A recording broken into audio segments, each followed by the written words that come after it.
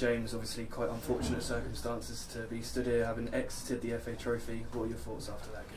Yeah, I think it's always going to be difficult. I think whatever reaction I give or, or we give as a, as a, as a two is it's going to be difficult. It's hard to take, and you, you sort of stand here having dominated uh, large parts of that game, but standing again here with nothing to kind of um, reason for it. And um, it's tough. Everyone's hurting. Fans obviously are going to be hurting, um, but the players, most importantly, they're, they're hurting. So it's important that um, we've just got to try reflect on it as as hard as it hurts, um, and, and even more importantly now we've, we've got to go um, remain and finish strong in the league.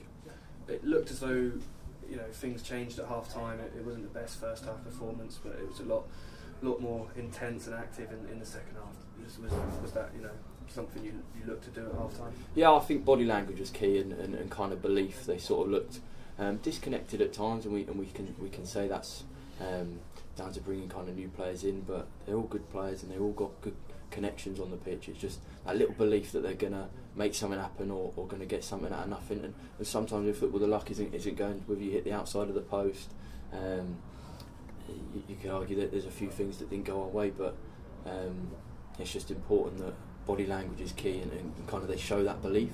That again, that feeds into the fans and that feeds into the environment in, in, in kind of the ground, um, which helps.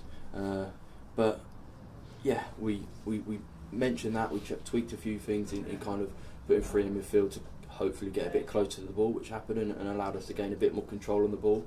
Um, but again, it's disappointing to come in when you dominate large parts of that second half, but don't really create many multi, many chances or, or, or, kind of big chances to go and get a result and win the game. As you say, it's, you know, we've, we've got to turn this around now, and, and we said, didn't we, that the form isn't the best in the league, so we've now got two opportunities away from home to, to really kick on and get that.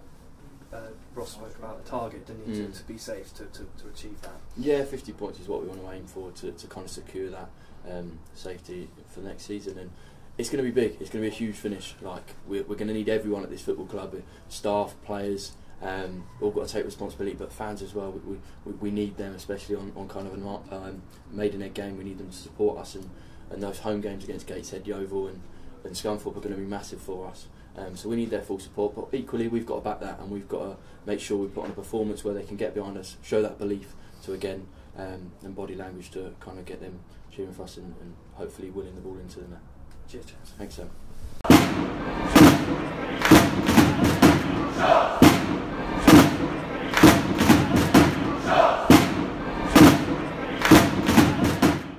Click here for the latest match highlights and click here to subscribe.